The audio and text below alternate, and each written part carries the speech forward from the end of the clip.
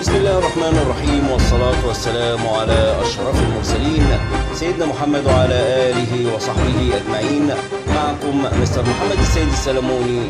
أهلا ومرحبا بكم على قناة STC سلموني Trading Channel مع كورس التطبيق العملي للتحليل الفني على منصات التداول.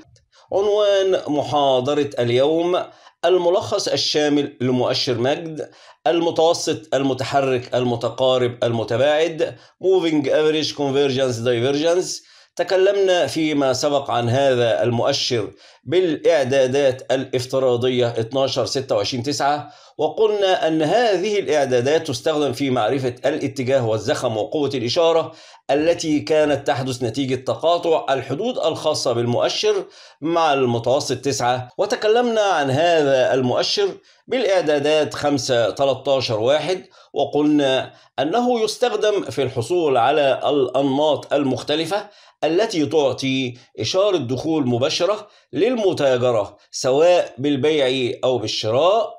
بالنسبة للمؤشر 12 26 9 يكون شكله على الشارت كما هو موضح أمامك وكذلك مؤشر 5 13 واحد كما هو موضح أيضا أمامك على الشارت. وهناك بعض الاستراتيجيات القوية التي يمكن أن يستخدم فيها مؤشر MACD مثل scalping strategy أو في التداول اليومي أو التداول بعيد المدى حيث يساعدنا مؤشر MACD في فهم حركة الأسعار والتنبؤ بما سيكون عليه حركة الأسعار في المستقبل كما أن هذا المؤشر يستخدم بكثرة في التقاط إشارات الدخول سواء بالبيع أو بالشراء. قبل الدخول في الشرح التفصيلي حابب ألقي الضوء على لمحة تاريخية حول هذا المؤشر. وضع تصميمه جيرالد أبل وهو محلل أمريكي وضعه في بداية السبعينات. باستخدام ثلاث متوسطات متحركة. الأول متوسط لمدة قصيرة الثاني متوسط لمدة طويلة الثالث متوسط للفرق بين هذين المتوسطين يسمى خط الإشارة. ولا زال هذا المؤشر يعمل بقوة حتى الآن حتى القرن الواحد والعشرين مع ملاحظة أن كل من المتوسطان القصير والطويل يتذبذبان حول خط الصفر وهما دائما في تجاذب وتنافر وتلاقي وتباعد. لذلك يسمى هذا المؤشر المتوسط المتقارب المتباعد. وهذان المتوسطان يتقاطعان معا أحيانا ويتقاطعان مع خط الصفر أحيانا أخرى. اليوم بمشيئة الله سوف نتناول مؤشر 9 17 8 بالشرح والتفصيل إي 8 اي ام اي 17 SMA 9 كيف تصدر الإشارات عن هذا المؤشر بهذه الإعدادات؟ 9 17 8 لتفادي الإشارات المضللة سنتعرف على كل ذلك بالتفصيل لكن يفضل أن يكون المتوسطان متجهان معا إما إلى أعلى أو إلى أسفل وأن يصل كلاهما إلى الأطراف. هناك تحذير هام جدا أريد أن أقوله.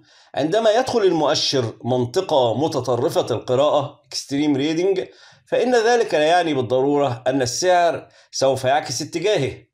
وتفسير ذلك أنه في السوق قوي السيوله يميل اتجاهه بزاوية حادة فإن حالة الإفراط في الشراء أو البيع قد تستمر لفترات طويلة والمتاجرة في هذه الحالة يكون بها كثير من المخاطر ويفضل الانتظار حتى تتضح المعالم الحقيقية والواضحة للسوق والتي لا يختلف عليها اثنين سواء كان في ترند صاعد أو هابط أو في حركة عرضية. والآن مع كيفية تسطيب مؤشر 9 17 8 على IQ Option من قائمة indicators هختار popular ثم مؤشر MACD. هيظهر لي المستطيل اللي قدامي ده. وعليه الإعدادات القياسية للمؤشر 12 26 9 واللي اتكلمنا عنها بالتفصيل في المحاضرة السابقة. هختار الإعدادات الجديدة للمؤشر وهي 17 8 9 هختار إي 17 سريع إي 8 بطيء إي 9 لقوة الإشارة وادوس apply. بعد ما أكون حددت الألوان اللي أنا عايزها هختار لون الإشارة SMA 9 باللون الأحمر ولون ال MACD باللون الأزرق ولون خط القاعدة خط الزيرو باللون الأسود وأدوس موافقة. هيحصل على الشارت اللي قدامي ده الشكل اللي اتكون. المنطقة إيه؟ عندي اتجاه هابط. جاء في نهايته نموذج شموع يابانية إنعكاسي وهو bullish engulfing pattern لو هتداول وفقا لنماذج الشموع اليابانية ده نموذج عاكس للاتجاه من هابط إلى صاعد هاخد صفقات شراء بعد أن تغلق شمعة التأكيد أعلى من مستوى النموذج وطبعا ده على فريم أربع ساعات يعني كل شمعة لها وزنها طيب ما هو دور المؤشر في هذه الحالة؟ لو بصيت على الخط الرأسي الواصل بين النموذج وبين نقطة تقاطع المنحنيين هلاقي منحنى مجد اللي باللون الأزرق قطع منحنى الإشارة SMA 9 اللي باللون الأحمر وكان الأزرق أعلى من الأحمر. إذا دي إشارة شراء يعني أدخل أشتري. بعد أن قطع منحنى المجد الأزرق منحنى الإشارة الأحمر من أعلى. طبعا هذا التقاطع للمنحنيات فوق خط الصفر. المنطقة B عندي اتجاه صاعد جاء في نهايته نموذج عاكس لهذا الاتجاه. من بعده على طول تحول الاتجاه من صاعد إلى هابط. لو بصيت تحت على ال MACD هلاقي تقاطع لمنحنى MACD باللون الأزرق مع منحنى SMA 9 اللي باللون الأحمر. بس منحنى ال MACD في هذه الحالة الأزرق تقاطع أسفل منحنى SMA 9 الأحمر. بما إن منحنى MACD الأزرق تقاطع أسفل. منحنى SMA 9 الأحمر.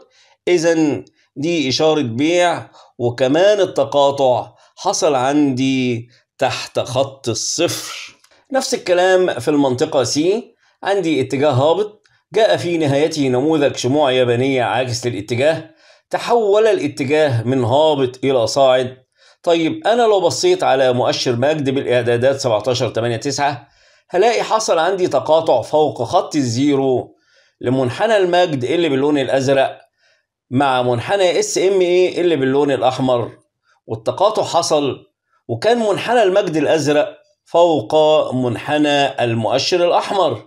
إذا أدخل صفقة شراء بعد هذا التقاطع. وهكذا بتمشي القاعدة. إذا قطع منحنى المجد الأزرق منحنى الإشارة الأحمر فوق خط الصفر وكان الأزرق فوق الأحمر أدخل بعد هذا التقاطع صفقة شراء. أما إذا قطع منحنى المجد الأزرق منحنى الإشارة الأحمر تحت خط الصفر وكان الأزرق تحت الأحمر. أدخل بعد هذا التقاطع صفقة بيع وإلى هنا نكون. قد انتهينا من محاضرة اليوم. إلى أن ألقاكم في المحاضرة القادمة. لكم خالص تحياتي. كان معكم مستر محمد السيد السلموني كبير معلمي الرياضيات والإحصاء ومحلل فني وسيكولوجي في سوق المال والأعمال. وأذكركم وأذكر نفسي بحديث رسول الله صلى الله عليه وسلم في وجوب التوكل على الله. قال صلى الله عليه وسلم لو أنكم توكلتم على الله حق توكله لرزقكم كما يرزق الطير. تغدو خماصا وتروح بطانا. صدق رسول الله صلى الله عليه وسلم. والسلام عليكم ورحمة الله وبركاته.